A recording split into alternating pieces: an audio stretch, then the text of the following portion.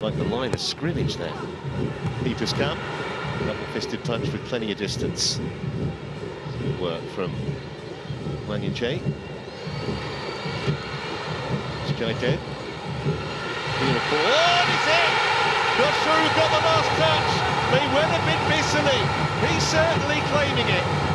And out of nothing, really, Buriram take the lead. Ten minutes into the second half.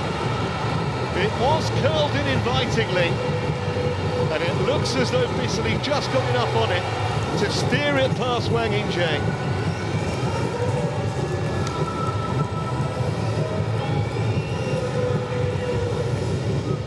Let's have another look. Oh, no question of offside. Yeah, just got a faint flick, I think. It's in by Hypercorn. And Bissoli able just to divert that into the corner. This may be a better view of how much contact he got.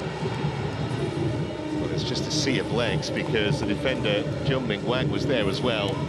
I don't think he'll want it, though. Bissoli's claiming it. Either way, the Buriram in front.